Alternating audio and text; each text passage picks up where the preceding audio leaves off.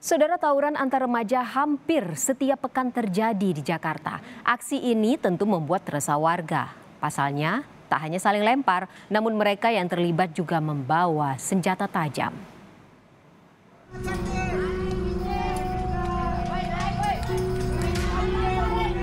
Mengganggu arus lalu lintas dan membahayakan pengguna jalan. Itulah dampak aksi tawuran yang kerap terjadi. Dua kelompok remaja tawuran dengan menggunakan berbagai jenis senjata tajam ini terjadi di Jalan Komodor Halim Perdana Kusuma, Kecamatan Makassar, Jakarta Timur. Sudah tiga kali tawuran pecah, membuat warga resah.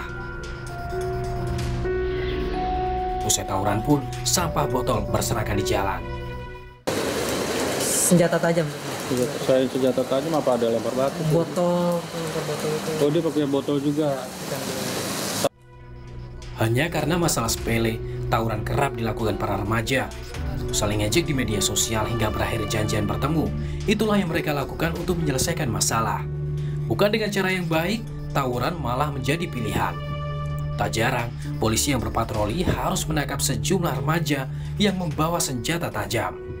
Sekelompok remaja yang sedang menunggu musuh melaksanakan tawuran. Kita mengamankan tujuh orang pemuda beserta empat senjata tajam berupa tiga celurit dan satu sabit.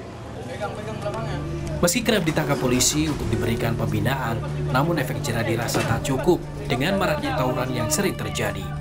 Warga pun berharap patroli polisi terus diintensifkan agar aksi tawuran tak lagi terjadi.